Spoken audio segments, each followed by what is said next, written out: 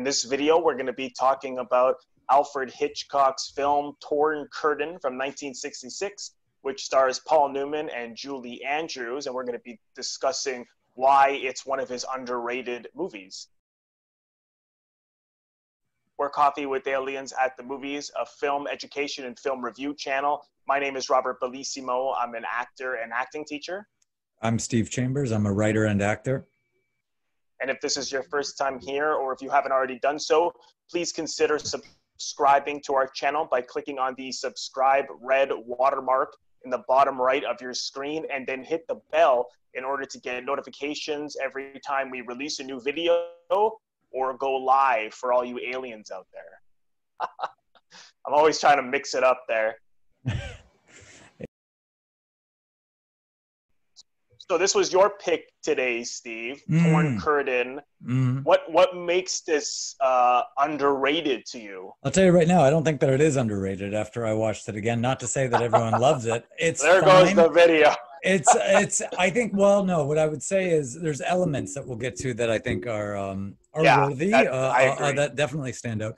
But I think it's just a surprise that it's for me anyway that it's not talked about that much because you got Alfred Hitchcock and he's his own world. Hitchcock films. You got Paul Newman. Paul Newman films. I forget that these two work together. Now, to even start to appreciate it, is you got to um, put yourself in the position. You got to remember this is the height of the Cold War in what 1966, right?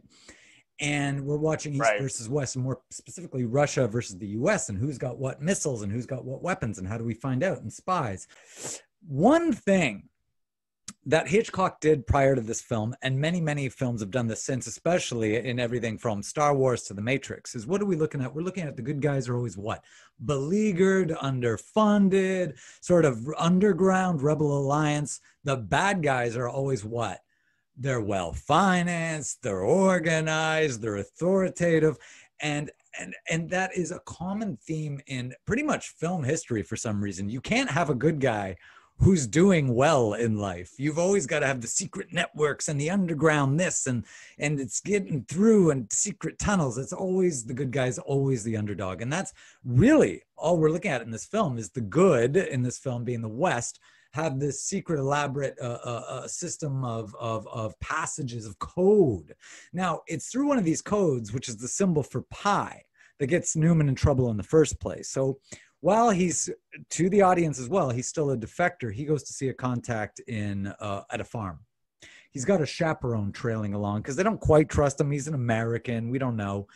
This chaperone is aware via this code that Newman's part of this underground system. Oh, he is a double agent. Now, the highlight of this film, and this might sound morbid, but is the fight scene between this guy, I think Gromek, Gromek the chauffeur, and Paul Newman. Is Hitchcock is showing us this brutal fight and Newman killing this guy with the aid of this farm wife and stabbing the guy, but he won't die because that's Hitchcock's point. It isn't so easy to kill someone. That's his comment, and I agree with him. Newman tells uh, Julie Andrews' character that he's in fact not a defector but a double agent. It's not through dialogue because we know, we know, we know. So why waste? I don't want to hear the goddamn dialogue again. So what does he do? He takes her like over this little hill, and it's shown. This is what movies are, people. Show, show, don't tell. And I just like that. And we know the information she's getting this is one of the few times just in the first half of the film where the audience knows less than the characters where usually he builds his suspense mm-hmm. from the audience knowing more than the characters so you are forced to lean in it's from julie andrews point of view you think that he is this defector and you're wondering why would he get engaged to then push this woman away? Once that mystery is wrapped up, once you know what Newman knows and Julie Andrew knows, and we're all in sync, the rest is just a, a, a dull escape. Uh, and and usually Hitchcock would always build uh, those kind of runaways through much more exciting events, and also with characters who were extremely, extremely uh, resourceful. Yeah. Whereas Newman and Andrews weren't. They're on That's this right. bus, and people are people are just constantly helping them. So it's not as it's not as fun. It's just you know, yes, he's playing with time that they're getting stopped a lot, uh, which is another thing. You know, like the bus gets pulled over by the cop and so on and so forth. Uh, but I, I I'm actually surprised that that Hitchcock wasn't happy with Newman in the film. I know that they didn't see eye to eye. I actually thought Newman uh, was good in it. I mean, he, so you, you buy him as a, an intellectual scientist yeah. who's also tough because that's who Newman really is. He is a it was an extremely sophisticated yeah. but strong, uh, tough guy. Uh, Julie Andrews, I thought, did a good job, but I know a bit of trivia is that Hitchcock wanted Eva Marie Saint. Right. And the, of course, classic uh, Hollywood sexism they thought she was too old. God huh. forbid that the woman is the same age as Paul Newman. Oh, we can't do that. They got to be 10 years or more younger, right? right. I see Julie Andrews, I can't help but think Mary Poppins. I can't Sound help but music. think of Sound of Music, you know, and I'm like her as a hitch like she's a she's a good actor, but she she's extremely innocent, which works for right. that role. But at the same time, she was the assistant of Paul Newman's character, so That's I right. felt that she needed to have that business quality that a lot of his female leads, like Kim Novak, had. Eva. Marie Saint. Eva Marie Saint uh, totally had that. Even Tippi Hedren totally had, and uh, North by Northwest, Tippi Hedren. They all were very business. Uh, and sexy at the same time. Whereas right. I think Julie Andrews is very attractive, but at the same time, she's just it's she's very innocent. She does I think she needed more of that quality that Eva Marie Saint yeah. had. What's well known is that Hitchcock and Newman didn't get along because of the way Newman wanted to work with a director, and Hitchcock.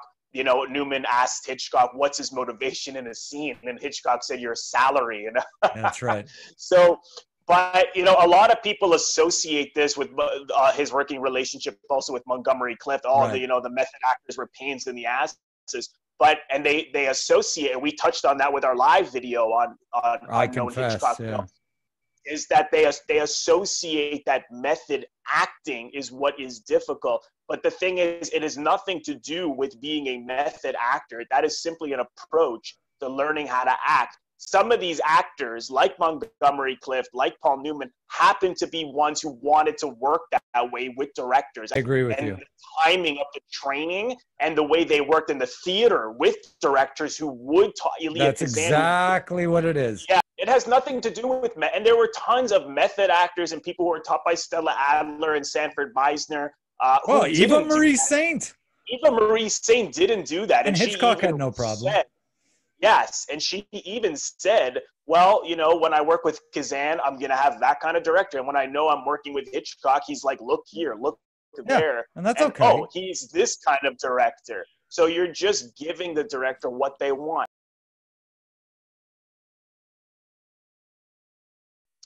Okay, well, thank you so much, everyone, for watching. Again, if this is your first time here, or if you haven't already done so, please consider subscribing to our channel by clicking on our logo to my top right above my head. Click on that and then click the bell in order to get notifications every time we release a new video or go live. Thank you again, and we will see you next time.